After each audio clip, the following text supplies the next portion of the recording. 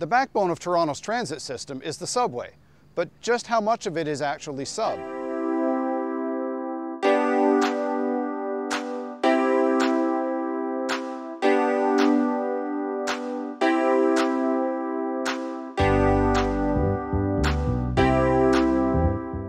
Sub means under, beneath, below, subterranean. But like the subway systems in many cities, Toronto's is not entirely underground. So, just how sub is it? Well, to figure out how much is underground, we're going to need some ground rules. See what I did there? And it's my video, so I make the rules.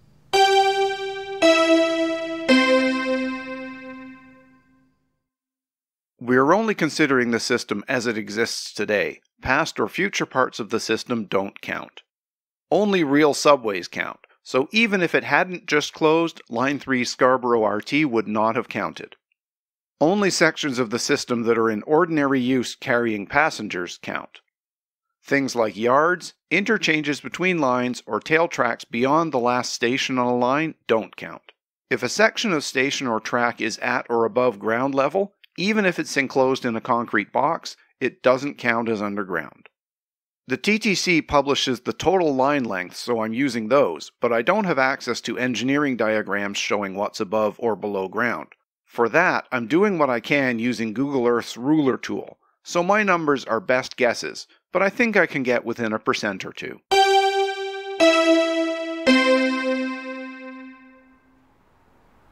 When Toronto's first subway line opened, it ran from Union Station up to Eglinton Avenue.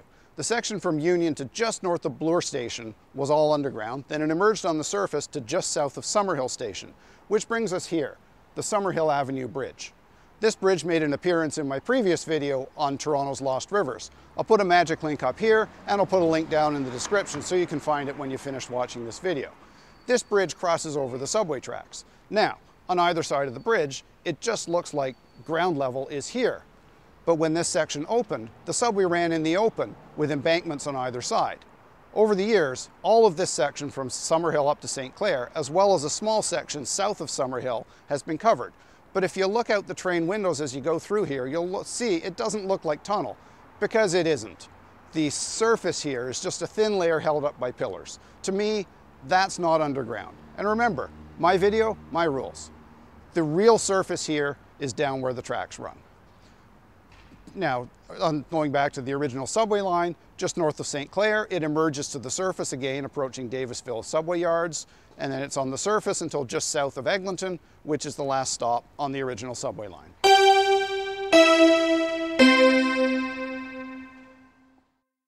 That original line has been extended a number of times over the years on both ends of the line to form today's Line 1 or Yonge University Spadina line. To the north of the original line along Yonge, it's easy. It's all underground. The western section is all underground from Union all the way up to Eglinton West, where, as you can see in this video, it emerges at the surface. Keep an eye on the driver coming towards us for a friendly wave just before going out of sight. From here, it runs north on the surface to the north end of the Wilson subway yard and then heads underground again for the rest of its route. So, let's get out that ruler. On the original part of the line, I measure the surface section around Rosedale at 0.84 kilometers, the section north of Summerhill at 0.47 kilometers, and the section around Davisville at 1.29 kilometers. On the Spadina side, I get 5.27 kilometers in the open.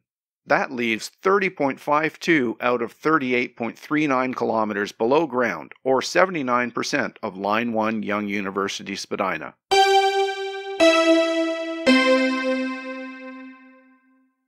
Toronto's second subway line, the Bloor Danforth line, now known as Line 2, opened in 1966. Well, the first part of it did, from Keele to Woodbine. The eastern side of that is all below ground except for the bridges over the Don River and Rosedale Ravine.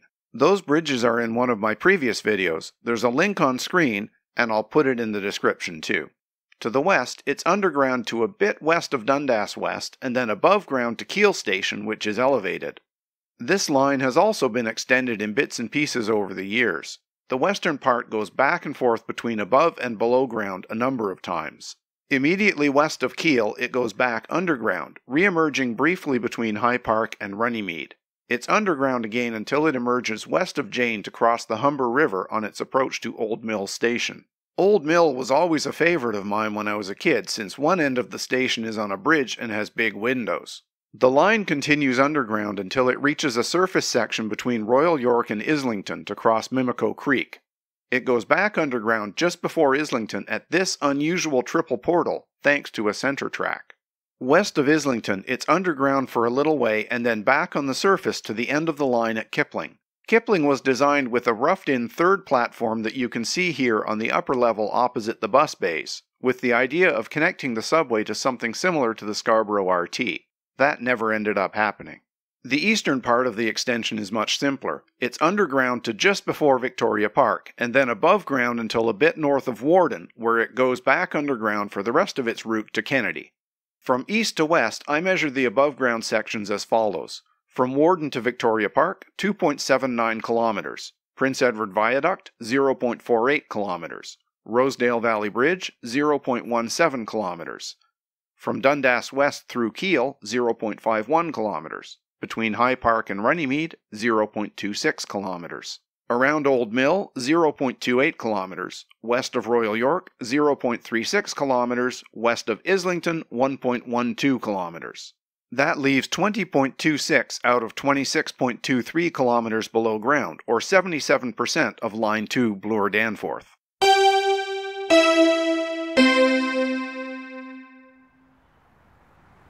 Line 4 Sheppard is the newest and shortest of Toronto subway lines, and the easiest one to calculate for this video. Now, if you're one of the few people who use this line, you might have looked out the train window and thought the whole thing's underground, but it isn't. In fact, I'm standing on top of line four right now. This bridge, just east of Leslie, carries line four over the east branch of the Don River. And this is a pretty special bridge. To account for the possibility of events such as Hurricane Hazel, this bridge normally has about three meters clearance from the river below, but it's designed to withstand being completely submerged. The entire bridge is watertight and it's designed to withstand all of the stress that that much water would put on it. Now, as for distance, I didn't have to calculate that one because I found an article in an engineering journal about this bridge from the time when it was constructed. It's 60 meters long. So the entire line is 5.47 kilometers, which leaves 5.41 kilometers below ground or 99%.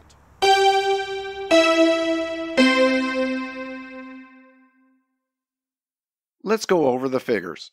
For line 1, the total length is 38.39 kilometers. Underground is 30.52 kilometers, which works out to 79%. For line 2, the total length is 26.23 kilometers, with 20.26 kilometers underground, for a percentage of 77%. And for line 4, we have a total length of 5.47 kilometers, with 5.41 kilometers underground, which works out to 99%.